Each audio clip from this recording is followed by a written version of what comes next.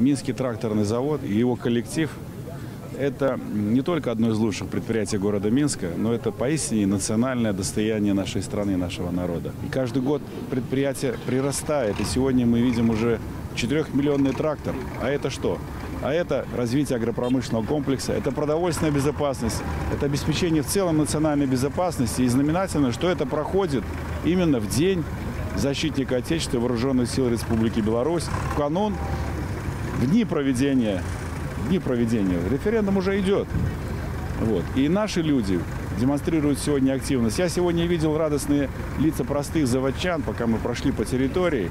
Люди радуются вот тому продукту, который они произвели.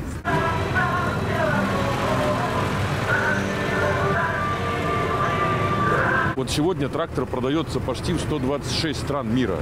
Соответственно, практически в каждом уголке земного шара знают, что такое Республика Беларусь, которая производит не просто вот такой там на четырех колесах с крыши, ведь это очень высокотехнологичное э, производство и техника. Даже по внешнему облику это совершенно иная машина. Ведь точное земледелие начинается с чего? С той техники, с линейки, в которой заложено, ну, мозги, можно сказать, программный продукт, который позволит тому, кто работает на земле, задействовать все возможности техники. Поэтому сегодняшний трактор, в отличие от там даже трехмиллионного, это абсолютно иной уровень техники с иными функциями, с иными возможностями. А санкции, ну, вы знаете, э, по-разному можно к ним относиться, но я считаю, что в этой ситуации, э, ну, нельзя сказать, что это плюс от санкций, но они заставили нас по-иному работать оперативнее, когда это все было размерено, понятно, где кто привезет, что, в какие сроки. Но это была одна ситуация. Когда жизнь заставила очень быстро искать альтернативные маршруты логистики, альтернативных поставщиков, это нас встрепенуло. Это тоже своя, есть от этого свой положительный эффект. Поэтому я уверен, что и этот год уже мы, к сожалению, находимся в той ситуации, когда мы не можем произвести столько, чтобы удовлетворить потребности покупателей. Вот сегодня уже эта проблема.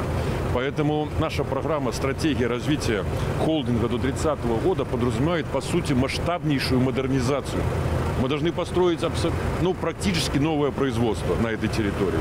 Вот это новые вызовы, новые задачи.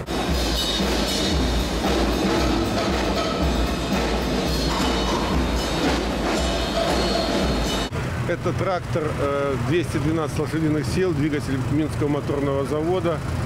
Э, Если вы заметили, там уже э, новая современная кабина, другие условия для тракториста. Наша задача облегчить его труд, чтобы ему было комфортно. Ну, а в целом все делается для того, чтобы труд был э, более привлекательным, менее затратным. И для этого нужны новые механизмы, автоматизация процессов. Сегодня над этим работаем.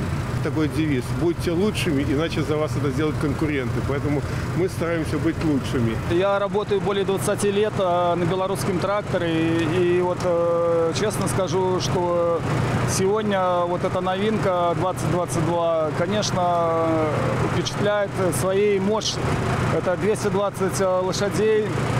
И, конечно, шумоизоляция другая. И, конечно, э, сегодня э, на такой технике, я думаю, будет работать очень приятно и добиваться каких-то новых успехов в работе.